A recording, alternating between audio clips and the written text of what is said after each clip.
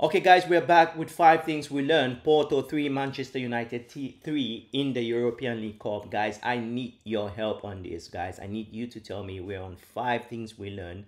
I'm going to hit up those five points. And if you have more things that you want to put in in, uh, in this uh, short video, please get involved. Drop the, your, your, your comments and please click the like on the video. Look let's start this very easily with with our manager the guy who is on the hot seat. That's Erik ten Hag. You know guys I have a question for you guys. Do you think Erik ten Hag wants to uh, to stay as Manchester United manager? I'm not saying that he's the one making us to lose games but do you think uh, because I think from the body language I saw on Erik ten Hag I think this man has checked out. I think the only reasons which Erik ten Hag is the managers because he, I think he's in, the, in a position where he says, okay, you guys should sack me. I need to go. And I'll tell you guys why. One of the reasons is the the way he surprises us, the way he made his lineup. Look, let me go straight to the point. You want you the club has been searching for Ugarte, right? Manuel Ugarte. We've been trying to sign this player the whole summer. You want to say Erik Ten works against that? Why did we want to sign Ugarte? Because we needed energy in the midfield. We go away from the t- from uh, Old Trafford, and we need an energetic midfielder. And Ugarte doesn't even have a second in the pitch, so I don't understand. That is how those are signs that a manager doesn't give an F. You see what I mean? So I mean, I was honestly watching this video in a cafe, in a bar, yeah, in a pub, right, as the Brits call it, and I had this feeling. Where is Ugarte? I thought he was not even in the bench, but he was on the bench uh, and he wasn't given a minute. So Erik Ten Hag taking out, changing defenders. I have never seen such a football game where defenders, your two central backs have changed uh, in a team that was not in a game that was 90 minutes. So I just think with my friends, I think Erik Ten Hag has checked out. I mean, I think I think he knows that maybe after the Villa game, if he draws uh, or lose, he will be sacked. So Ten Hag, I mean, uh, I even have a, a, I have a friend of mine who texts me and said, "This guy's this guy's body, this guy's soul is not in Manchester any longer." So tell me what you think about that, Ten Hag. He has been doing things that I don't really understand. The guy has checked out, in my view. But let's go to the good, the good news. The good news is Harry Maguire has showed some resilience, not only with the goal, mostly with the attitude. Because some of you who, if you have a low football IQ, you just rate players from scoring goals, players from defending, players from you know doing all those goal celebration. But if you look at football in a more mature manner, there are certain things that are not even attached with the football team that you, that enhance the, the player's image. I think Harry Maguire, being a previous captain, being downgraded, I think he's the fourth central back coming in, not because he scored a goal, but his attitude in general has been more encouraging than the goal he scored. Don't get me wrong. I was over the moon. I was over the moon. And when he scored that goal, Harry Maguire. But I think he's um he is not the kind of player that can lead Manchester United, that can lead your club to win a trophy or to win uh, uh, uh, uh to win a, a title or the Premier League. Harry Maguire cannot help us win, but yesterday, in general, he had a good game. He was my he was my man of the match. He was close there for my man of the match alongside with the goalkeeper. I think both of them had the seven in my ratings. I think because uh, without that goal and the goals that also uh, uh, the goalkeeper uh, saved, it would have been a different morning today. We're talking about it. So tell me what you think about Harry Maguire. I I mean, big big up to this player. It's more, I played football. One of the biggest section. If your kids are playing football, if your friend wants to have a career, it's up here the moral Go and ask, ask Samuel Eto'o. I talk a lot about Samuel Eto'o because I started my career with him. Go and ask, and he will tell you that he is very strong. I have huge respect for this guy Harry Maguire since then. Let's go back with some bad news. The bad news was this guy, the guy which uh, actually obviously uh, uh, De Ligt. You can see from this picture that Erik Ten Hag wasn't happy with De Ligt uh, performance. He wasn't. I mean, this is a guy which he break the bank to bring from Manchester United. Harry Ten Hag himself was like, what's going on? De Ligt did not have a good game. I think De Ligt, the best you could say for De Ligt was a 4.5 below 5. I think I gave him a 4, 4.5, or maybe a generous 5. But look, De Ligt wasn't good in his game. Me what you think about De Ligt. He has been good for us this season. Look, in a season, if you can have a 60 70% good um, um, performance in a season, it's a good season. Nobody except your Maradona Nobody has a 90% in the season. Nobody, even Messi, there were times where Messi is acquired. But I think there is an issue here, uh, and this is not the Premier League. I think De Ligt has to communicate better with his defense. He was good also in this game somehow, but generally he was found out by a very physical uh, attacker, uh, the Porto attacker. The guy was scored basically two goals.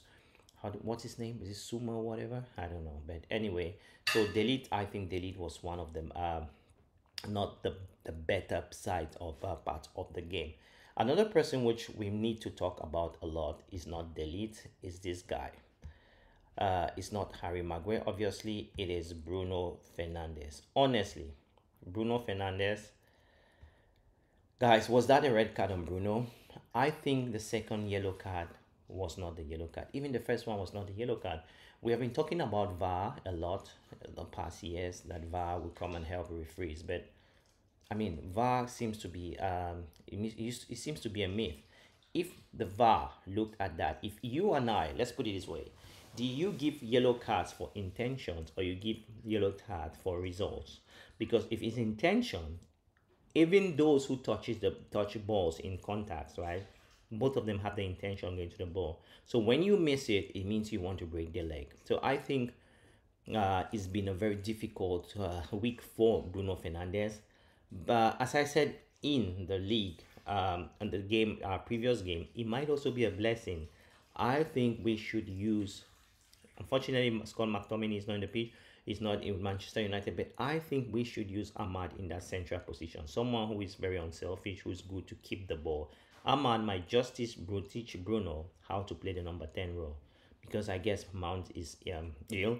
And guys, you know, because we drew, and the biggest problem we have in Manchester United, the players you watch, the players you buy their t-shirts, the player you adore, is that they have a very low mental um, uh, capacity. They are so weak mentally. So I really don't think they'll bounce back. For the game against Villa, I think it will not be as easy for Villa as people think. It becomes easy for Villa if they score in the first 10, 15, 20 minutes. But uh, I think Manchester United, you'll be surprised how compact United will be in the game against Villa. Erik Ten Hag will go there with a very defensive team and will have to win them on the break. Uh, yeah, that is my view against uh, Villa. I think Manchester United will go really hard on Villa. It will be a counter-attacking team for us. And if Villa we let them the ball, we go on counter-attack, I think we can easily come there with some kind of result. Bruno Fernandes is a player which I think Bruno Fernandes, to be honest, if Fernandes continues this way, this should be his last season Manchester United. If you are view on this channel, you agree with me, I've been saying since I was for Manchester United selling Bruno Fernandes since two years ago not because he's a bad player, but because Fernandes doesn't have the capacity in order to play possession football. Well, I roll back my comments a bit in the finals that he could play, but he cannot maintain it. If you want to talk about Fernandes, look at the, the guy who played 10 for Spain national team, Olmo, right? David Olmo. I wanted Olmo. Yes, he's 70 million euros, that's 60, but he's a playmaker. We can keep the ball. He's very unselfish. He's not about scoring, it's about letting others play. Um, don't just get me out with, with Zirkzee. I won't talk about Zirkzee, but I, I look Zirkzee's performance for Manchester United since he came this season. He might be good next season or by the end of the season, but for now, he see, he looks like a junior team player for Manchester United. Obviously, he is overshadowed by what is going on with Manchester United. So uh the team. So let's talk about this guy, Marcus Rashford, which all the press, the English press are talking about. Oh, why was Rashford very placed? He was the best. He scored the goal and also gave uh, a decisive pass for a goal for uh, Rasmus Højlund, which I will not talk about him. Rash Rashford, for Rashford to be a complete footballer, he has to be defensively uh, active. Rashford isn't active. Look at this. We are playing with a left back in Dalot because we don't have a left back who is struggling because he's not a natural left back. And we have also the guy playing in front of him, Rashford, who is so selfish, who cannot give a shit coming back. So it is very difficult. How do you expect that side of the pitch to function properly? So it's uh that it's something which guys, if you have I don't want to say if you have a brain, if you have a football brain, you must have seen this better. Anyway, guys, I wanted the video to be 8 minutes it has gone to 10 minutes these are my five things i saw in manchester united Erik ten Hag, i think he's out he's very convinced he will be sacked. He needs that. I mean, I don't want to say he needs. He's just waiting when they're going to give him his 17 million pounds. He leaves. I don't think he. I think he the, the journalists have pushed him to the wall. It's just like anything that happens happens. Marcus Rashford, which I think needs to build up his game. No matter what manager comes to Manchester United, either Rashford and Bruno sold, or the same thing will happen. Also about Maguire, I applaud Maguire's uh, strong uh, uh, mind. Uh, he has a strong mental position.